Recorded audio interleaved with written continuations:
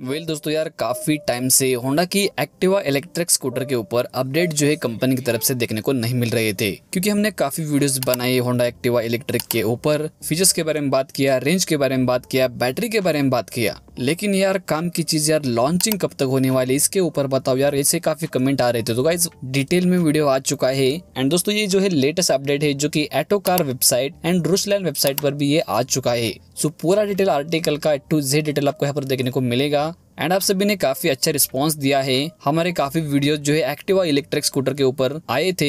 उसी जैसे हम ये वीडियो को बनाने वाले सबसे पहले बात करते हैं इसके अपडेट के ऊपर कि होंडा की जो इलेक्ट्रिक स्कूटर रहेगी, वो कौन से लुक के साथ देखने को मिलेगी एंड कब तक देखने को मिलेगी। तो रिसेंटली गाइज़ होंडा ने जो है नए दो प्लांट यहाँ पर लेने का प्लानिंग कर दिया है, जो कि इंडिया में रहने वाला है।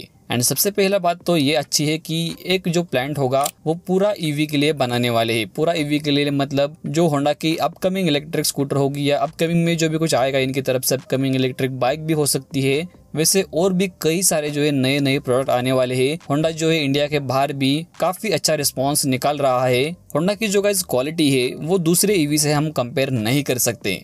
इसलिए और भी कई सारे कस्टमर जो है इस ट्रस्टेड ब्रांड की इलेक्ट्रिक स्कूटर के लिए रुके हैं। तो इसलिए होंडा जो है पूरा ईवी e प्लांट लेकर आने वाला है अपकमिंग ईवी e जो है तबाही करने वाला है। लेकिन सबसे पहले जो है होंडा की एक्टिवा के ऊपर 90 परसेंटेज कस्टमर अभी तक वेट कर रहे हैं। अगर हम बात करें इनके अपकमिंग इलेक्ट्रिक स्कूटर के बारे में, सबसे पहले तो इनका जो है पीसीएक्स भी आने वाला था, जो कंपनी ने पहले अनवील किया था। उसके बाद नेक्स्ट एक्टिवा ईवी को भी अनवील किया था। एंड तीसरा जो है थोड़ा सा स्मॉल है बट जो सिटी में यूज़ करते हैं जिसको कम रेंज चाहिए। उनके लिए वो लुक्स जो है बेस्ट हो सकता है। लेकिन इंडिया में जो है अभी तक कौन सा मॉडल आएगा, इसके ऊपर अभी तक काफ़ी डिस्कस चल रहा है। बट जैसे मैंने स्टार्टिंग में बोला कि 90 परसेंट जो कस्टमर की रिक्वायरमेंट है, वो तो एक्टिवा इलेक्ट्रिक के लिए रहने वाली है। एंड ऑलरेडी हमने काफ़ी वीडियोस में बताया था कि एक्टिवा ईवी जो होंडा फ़र्स्ट इलेक्ट्रिक स्कूटर लेकर आने ही आने वाला है, क्योंकि एक्टिवा के ऊपर ज़्यादा रिस्पॉन्स एंड ज़्यादा एक्टिव लुक जो आपको वहाँ पर देखने को मिल जाता है। अब बात करते हैं कि यार कब तक इंडियन मार्केट में लॉन्च करेगी, क्या डेट है, कौन से महीने में आएगी, कब से डिलीवरी चालू करेंगी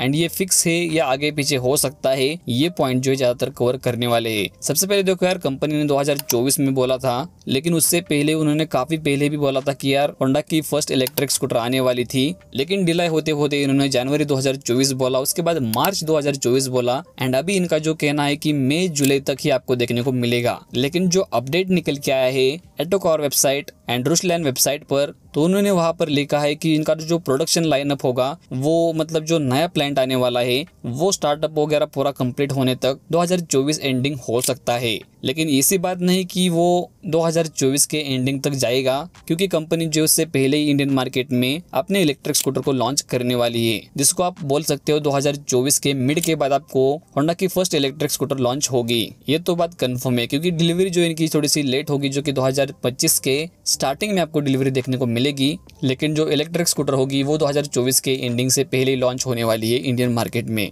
लेकिन गाइज़ एक बात है कि अगर आपको सेवन टू टेन ईयर तक बैटरी लाइफ चाहिए अच्छे ब्रांड की ट्रस्टेड ब्रांड की इलेक्ट्रिक स्कूटर चाहिए, जो कि कहाँ पर भी कॉम्प्रोमाइज नहीं हो सर्विस भी आपको अच्छी मिले एंड ऑल यूज़र इसको यूज़ कर सके, जैसे कि फैमिली यूज़र वगैरह हो गए एंड इजीली कहाँ पर भी आप इसको जो है चार्ज कर सके 140 किलोमीटर से लेकर 180 किलोमीटर तक रेंज चाहिए तो आपके लिए जो होंडा की इलेक्ट्रिक स्कूटर बेस्ट हो सकती है।